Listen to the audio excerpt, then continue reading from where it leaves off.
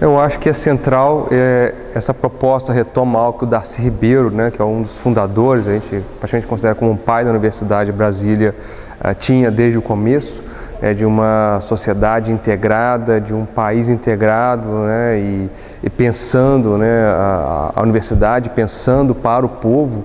E só é possível a emancipação né, e uma soberania com uma América Latina integrada, né, junto, caminhando junto. Então, o Departamento né, de Estudos Latino-Americanos, que foi criado em 2017, ele retoma né, essa linha de pensar o papel que o Brasil tem em relação à região, é, de construir uma empatia né, do brasileiro em relação aos nossos vizinhos. Acho que a gente tem um desconhecimento muito grande em relação a quem são eles e elas. Né? É, há uma certa prepotência e arrogância brasileira, então cumpre o papel de, de pensar o Brasil na região né? e, e nos colocarmos como latino-americanos.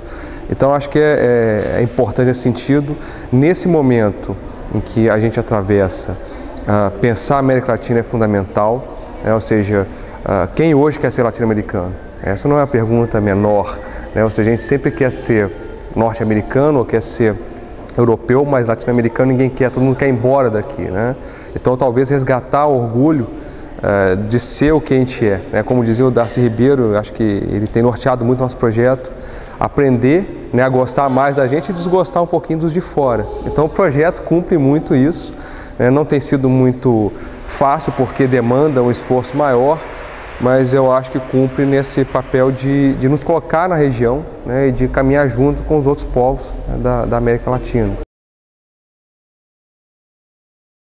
Olha, o IELA para a gente, né, e para mim em particular, eu levo um pouco da experiência do IELA lá para o nosso departamento, é como se fosse um farol. Né? Muitas das coisas que vocês fazem aqui que tem dado certo, a gente tem tentado, de certa forma, aplicar lá também.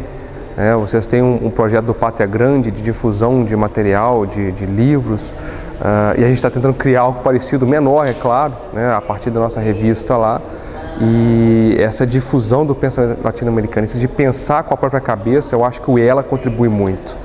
É, eu acho que isso é fundamental, de saber que a gente produz teoria. Ao invés de referir para fora, a gente refere para dentro. É, então o IELA cumpre esse papel. É, para mim, uma referência há mais ou menos 10 anos que eu tomei conhecimento do IELA. É, são vários os projetos, eu acho que essa produção de mídias que vocês têm é fundamental.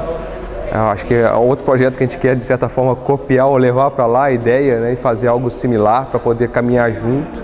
E, e tem vocês um parceiro para a gente é muito importante.